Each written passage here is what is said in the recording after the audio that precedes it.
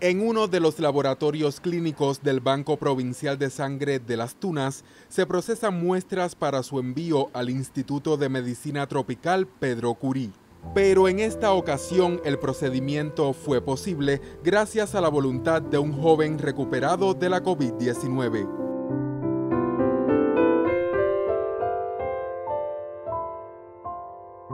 Se trata de Omar Parra, de 34 años, quien donó 600 mililitros de plasma para su utilización mediante el aporte de anticuerpos activos en el tratamiento de pacientes con el nuevo coronavirus que permanecen en estado grave o crítico. Es algo importante, algo bueno de poder ayudar y que alguien se pueda curar con eso.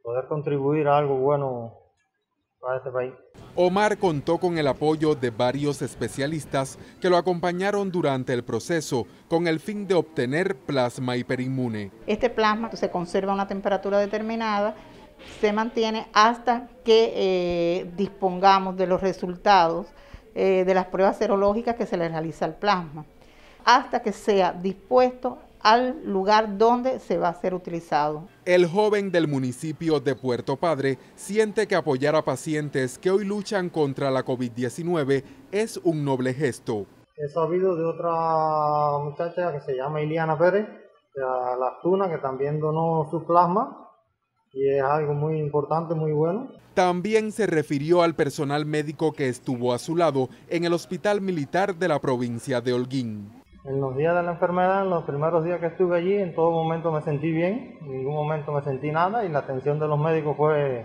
excelente, muy buena, en todo momento, siempre. Atendiendo ahí a uno a toda hora, a la hora que tú los llamaras ellos estaban ahí sin falta. La plasmaféresis automatizada duró cerca de 40 minutos y Omar aceptó repetirla cada 7 días. Yo quiero que esta enfermedad termine para que otras personas más puedan salir, tomar su vida normal, puedan abrazarse y volver a estar todos juntos con su familia y seguir adelante. Desde Las Tunas, Gianni López Brito, Sistema Informativo de la Televisión Cubana.